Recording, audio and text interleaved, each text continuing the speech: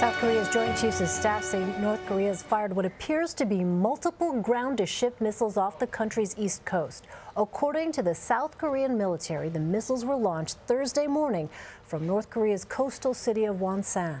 Jason Strother, a freelance reporter living in Seoul, joins me now on the phone. So, Jason, what are you hearing about these missiles? Right. South Korea's Joint Chiefs of Staff say uh, North Korea shot several unidentified projectiles. They believe them to be uh, surface uh, to ship missiles, so surface to sea missiles, possibly cruise missiles. Uh, they traveled about 200 kilometers, uh, which I think is just around 100, just under 100 miles or so. And so tell us about these kinds of missiles. Uh, these are different uh, from missiles that have been fired in previous, uh, the most recent launches.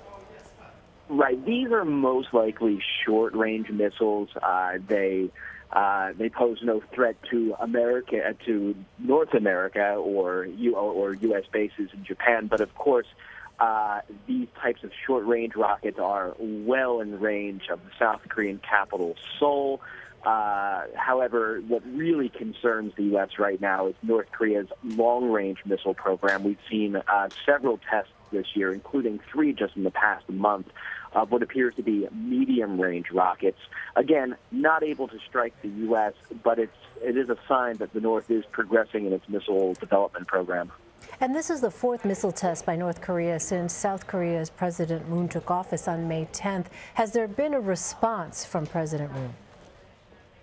You know, I, coming into office, President Moon wanted, called for better relations with North Korea. For the past 10 years under conservative leadership here, uh, relations were, were pretty much null. Nothing was going on between North and South Korea. Moon came in it's ostensibly offering an olive branch, but has been met with these missile salvos uh, since he took office at the beginning of May. Uh, and he has responded not unlike his conservative predecessors. He's condemned Pyongyang's actions. He's called uh, for hearings at the UN Security Council. Uh, of course, Pyongyang has responded by by denying Moon any attempt to uh, have civilian exchanges between North and South Korea. Uh, so still tensions or at least relations between North and South Korea are still very cold. And Jason, I wonder when these kinds of missile launches happen, what is the reaction among people in South Korea?